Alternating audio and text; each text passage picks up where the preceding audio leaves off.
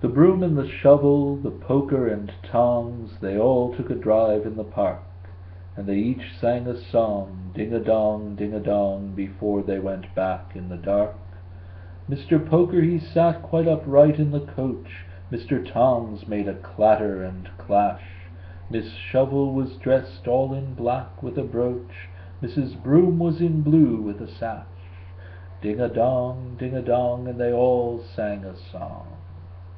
"O Shovely, so lovelly," the Poker he sang, "You have perfectly conquered my heart. Ding a dong, ding a dong, If you're pleased with my song, I will feed you with cold apple tart. When you scrape up the coals with a delicate sound, You enrapture my life with delight. Your nose is so shiny, your head is so round, And your shape is so slender and bright. Ding a dong, ding a dong, Ain't you pleased with my song?"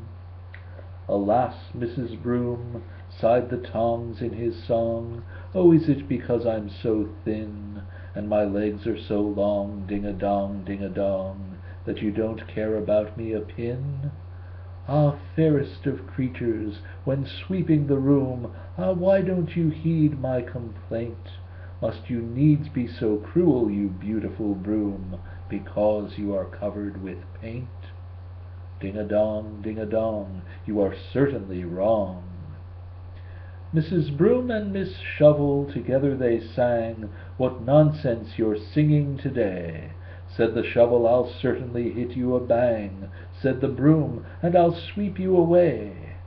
So the coachman drove homeward as fast as he could, Perceiving their anger with pain; But they put on the kettle, and little by little They all became happy again.